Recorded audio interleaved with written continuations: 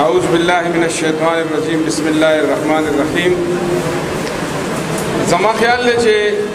ډیر اوږد پروګرام وچلې دا تاسو خستړي شوی یي زه دار سره مخه خو دی لوی افغانستان نه چې کوم ملمانه راغلي دي دای ته په خیراله وام او نور چې کوم ملمانه ناست دي په پریزیډیم کې داسې ده چې اوس مې محبوب ته وی چې د کله چې تاسو غواړئ چې زه مخکتنه روانه کم نو په هغې کې مشاعره کېږده کله چې غواړئ چې مخکتنه دې روانه شي نو په هغې کې مشاعره کېږده کله چې وا چې مشاعره دې روانه شي نو پای کې موسیقي کېده ځکه چې دا مخکتنه چې ده دا د پولس شی دی او مشاعره چې ده نو دا د ولس شی دی کله چې تا په مخکتنه کې مشاعره کې خو دا او بیا دې غاڼل خیزه کړه نو هغه کتاب په ځای پاتې شي پکار دا وا چې د محبوب جان د کتاب مخکتنه ده چې په دې دیوالونو باندې داغه شعرونه په کاغذونو باندې لیکل شوی په پلیپس باندې لګیدلې وي د دې نه علاوه چې کم از کم درې څلور کسانو د محبوب جان په فن باندې دغه په ژوند باندې تاثرات ویل وی چا چې د پیجندو او څوک چې په شعر او ادب باندې ویدل د دې نه علاوه چې د زمونږ د ثوابای چې کم نماینده نظم گو شاعران دي نو دوه کس کم از کم داسې پکارو چې د محبوب جان دا ژوند د دا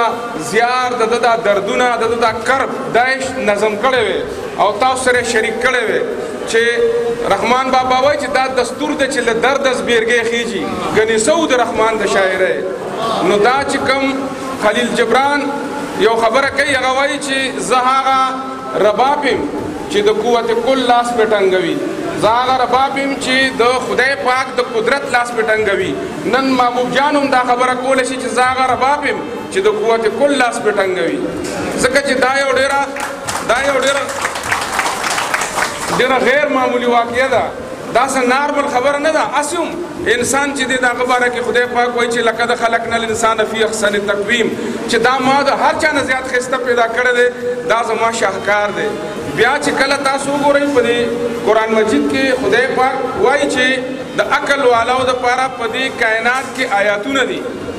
آیات دوه کس دوه قران دی یو قران دا د چې کوم په جمعات کې پروت دی مونږه وایو یو قران د خدای پاک د کائنات ته د دې د خلاګانې د دې د خیستونه د دې د مزیدارۍ د دې د رنگینۍ د دې د فطرت دا د دورانه کو आवाजونه د ابشار ترنمونه د مولانا صاحب د پڼو چغار دا ټول د دې کائنات خلا ده او دار دې قران آیاتونه دي او په دې کې د ټولو نه لوی آیات چې ده نو دا د انسان خپل وجود دی چې خدای پاک وایي چې دا ما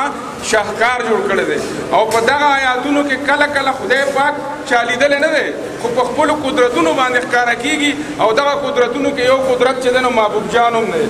چې هغه خدای پاک مونږ ته ښیي چې وګورئ زه یو داسې بچی هم پیدا کولی شم چې هغه لا د خپل ذهني عمر هغه بلوغت ته نه دی رسېدلی چې د هغه بالغ نظري پیدا شي خو زه په ماشوموالي کې هم یو ماشوم لا بالغ نظری ورکول شم زه په ماشوموالي کې هم یو ماشوم لا داسې بینا سترګې ورکول شم چې تاسو ټول نه شئ لیدای او هغه پې لیدای شي د سیزونو حقیقت چې دی دا نه ده چې کوم مونږ تخکاری سیزونه داسې دي نه چې څنګه ښکاري سیزونه چې څنګه دي انو هغه مونږه چې کله غنی خان رحمت الله علیه بوي چې تاسو سترګې پټې گئی انو تاسو به د سیزونو په حقیقت باندې پوه شئ او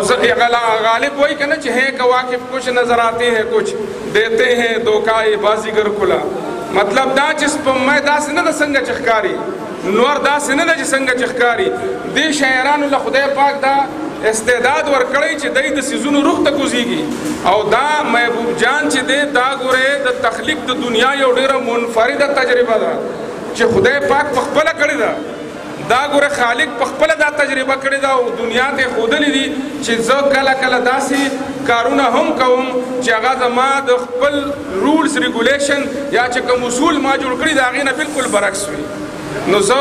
محبوب جان له مبارکي ورکوم د ده په دې ړومبي بچي باندې چې دی لا په خپله بچی دی خدای وله بیا په غېږ کې تخلیقي بچی ورکړ نو زه دله مبارکي ورکوم او ثوابه ټولې صوابۍ له هم او لر او بر ټولو پښتنو له مبارکي ورکوم چې د شعر او ادب په کنډاو باندې یو داسې بچی راوخته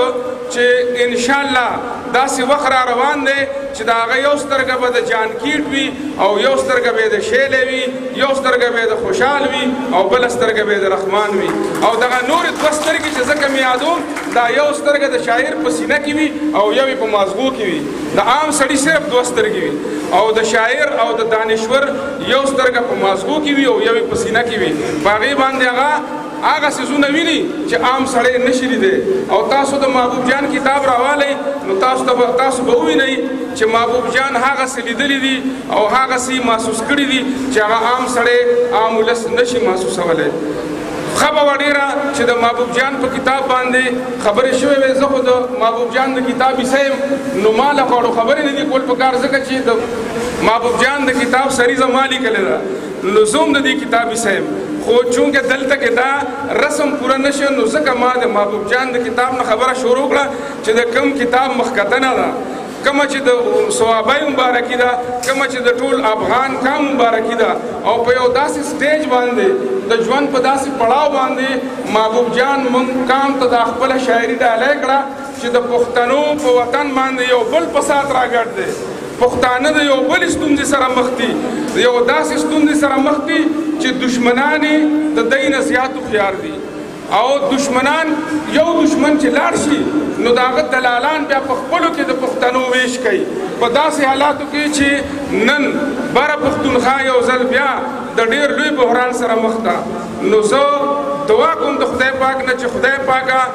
په لوی افغانستان کې په لاره بر کې امن راولي او خدای پښتون لاکل ورکړي خدای پښتون له عقل ورکې پوهه ورکې زمونږ د کلي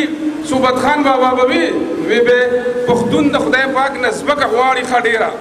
تربور پې له وژني د اجرتي قاتل کار دې ومخلي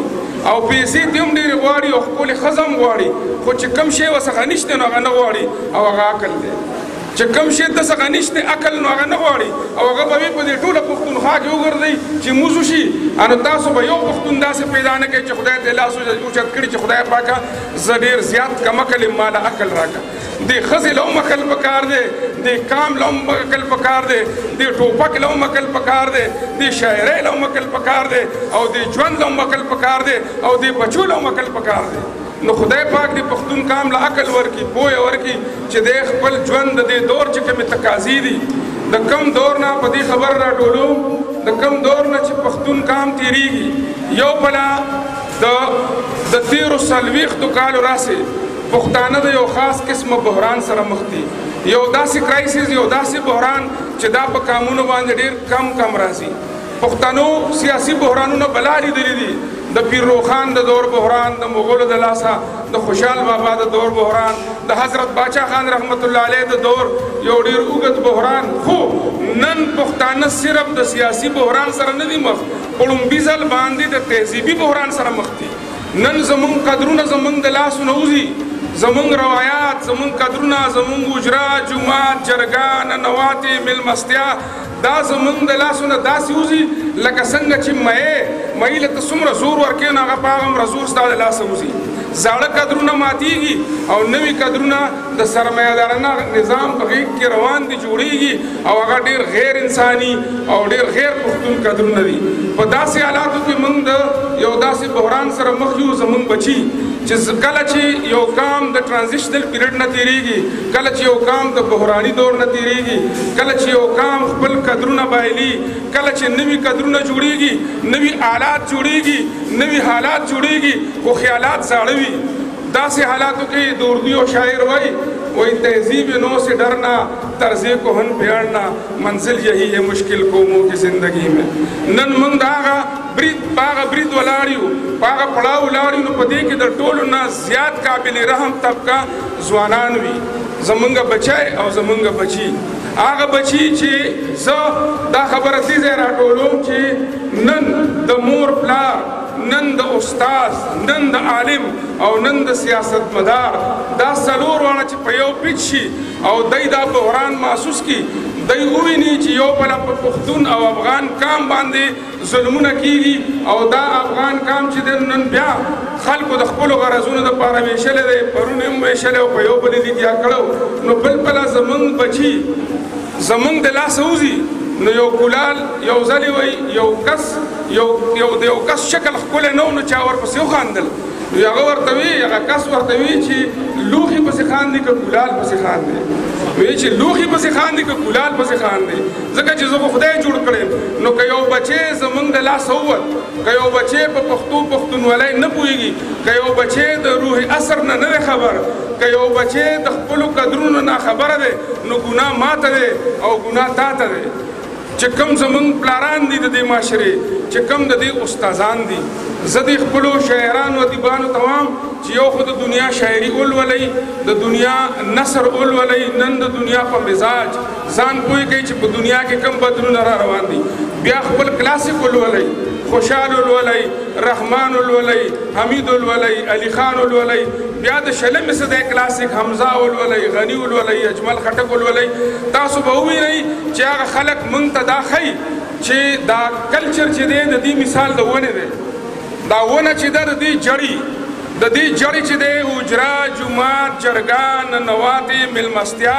سړیتوب او د تورسرو عزت دی د دې تنه زمونږ نن دی او د دې څانګې زمونږ سبا دی کله چې څوک په څانګو کې کینی او هغه یې جړې رد کوي نو دا ډسټرکشن دی دا تباهي ده څوک چې په جړو کې لکه زمونږ زاړه خلک کینی او څانګې رد کوي نو دا ایرریشنلیزم دی یو داسې فارموله به جوړول غواړي چې خپل ځوانان خپل بچي د پرون په غېږ کې د نن په لار سبا ته بوځو او ښه تخلیق کار هغه وي چې هغه په لمح موجود کې موجود وي خو خپل اوریدونکی کله ماضي ته بوزي او کله د حال په لار مستقبل ته بوزي ماضي ته تلل ښه خبره ده خو په ماضي کې کېناستل دا قابل دا قابل مذمت ده مطلب دا چې د پرون سره